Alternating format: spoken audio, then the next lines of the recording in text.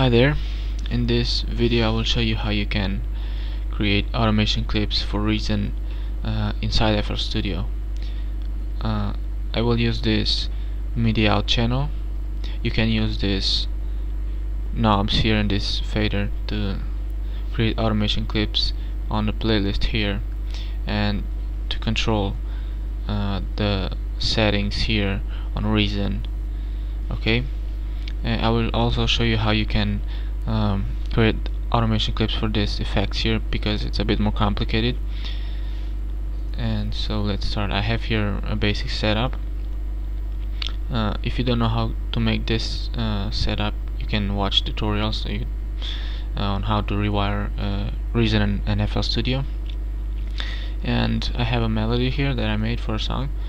And I'll play it and then I will create those automation clips and you will see how it sounds okay?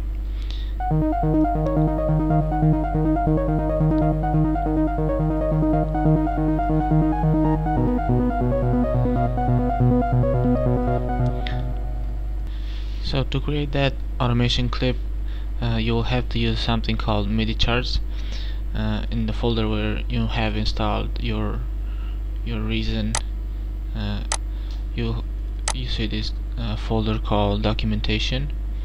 And if you open that you, see, you will see this uh, PDF file called MIDI implementation charts.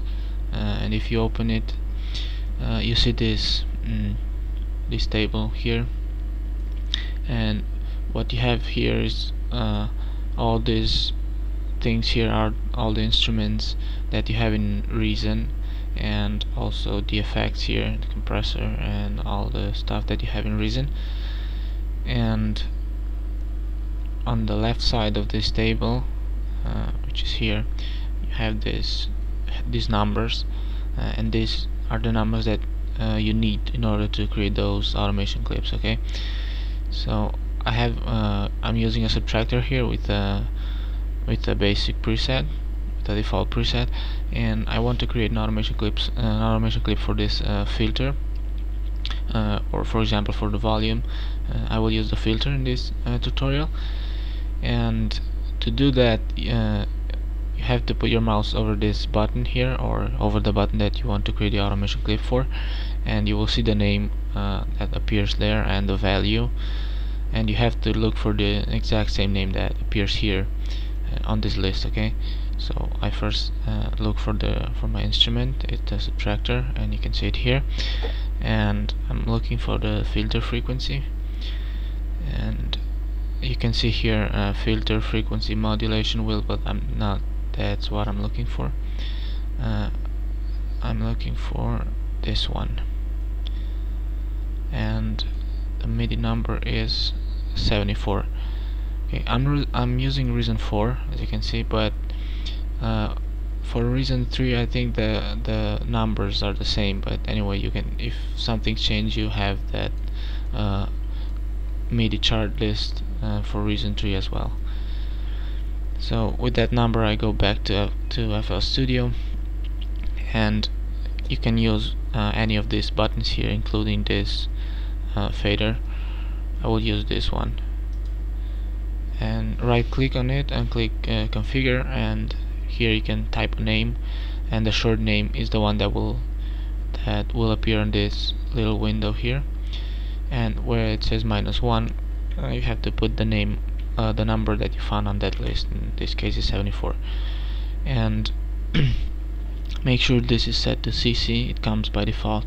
And leave the minimum and maximum value to to the default okay so now this uh, knob here is is directly controlling this filter okay? So if I, I create uh, an automation clip for it now uh, right click and choose create automation clip. I will create, create this uh, automation clip. Another uh, good thing of making uh, the automation clips here is that you can adjust the tension okay? In reason it's a bit more difficult because you can only draw straight lines. Here you can make uh, some funny stuff like double curves uh, stairs. Okay. It does that automatically so you don't have to worry about that. Well so let's see how it sounds. And I will put them both here and watch this uh, filter frequency going up and down following the automation that I just created.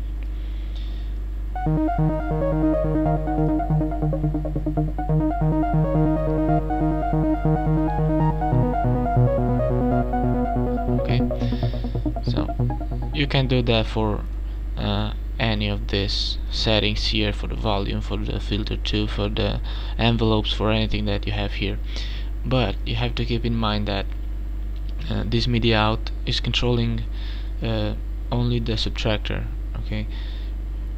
Uh, when you assign this uh, MIDI out to an instrument here uh, you select the instrument from this list and the subtractor one is going to channel 8 and I used port 1 so if you want to create an automation clip for for the filter for example for the unison uh, which is here uh, the unison cannot you cannot do that because this MIDI out is controlling only the subtractor so if you want to create the automation clip for one of the effects that uh, is going with this instrument what you have to do is to combine this all and use the combinator to program one of the four uh, buttons of the combinator and use a single MIDI out. I will show you how you can do that now.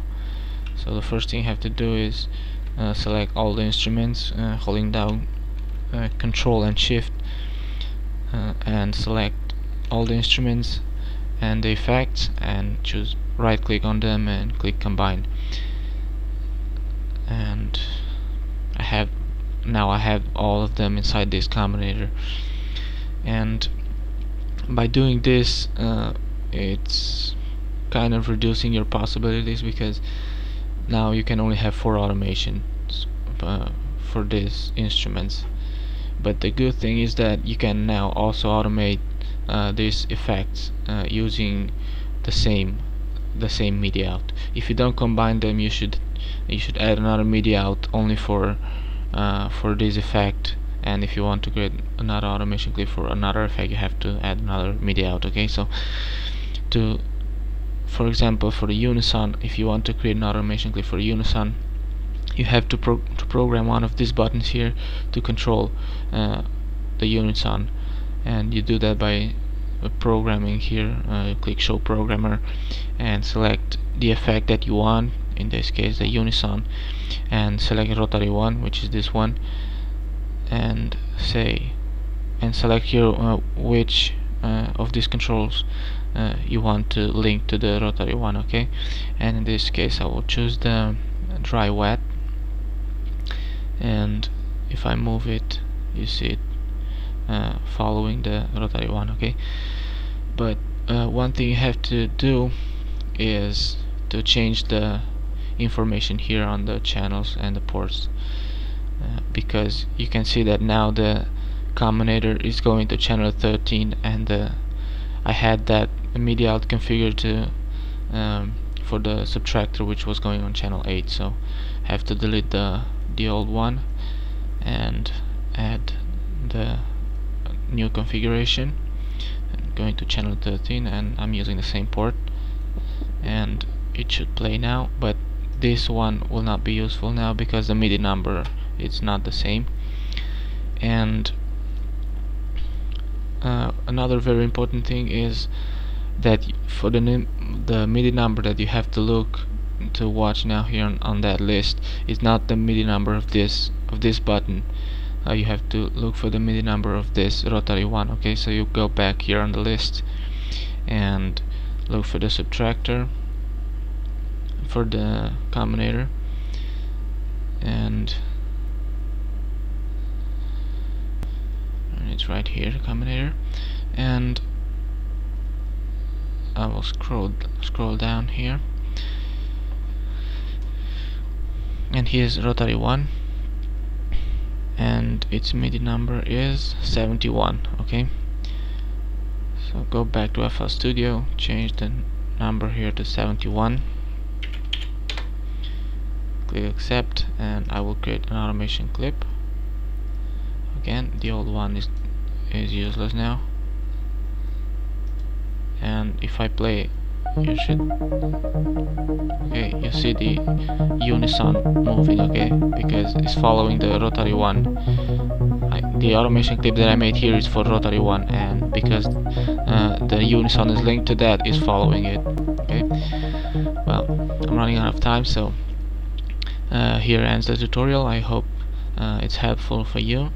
And well see you on the next one